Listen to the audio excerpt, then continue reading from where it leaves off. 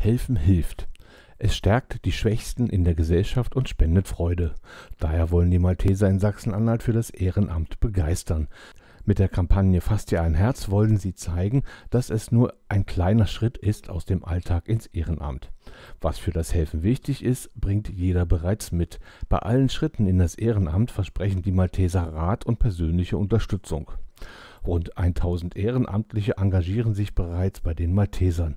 Wer sich ein Herz fasst und den ersten Schritt macht, findet hier eine Aufgabe, die individuell passt. Zum Beispiel als Sanitäter im Bevölkerungsschutz, bei der Begleitung sterbender und trauernder Menschen, in der Integrationsarbeit, beim Besuch alter oder kranker Menschen sowie in der Jugend. Die Kampagne Fasst dir ein Herz lädt in den sozialen Netzwerken sowie auf Plakaten dazu ein, vielfältige Engagementmöglichkeiten kennenzulernen.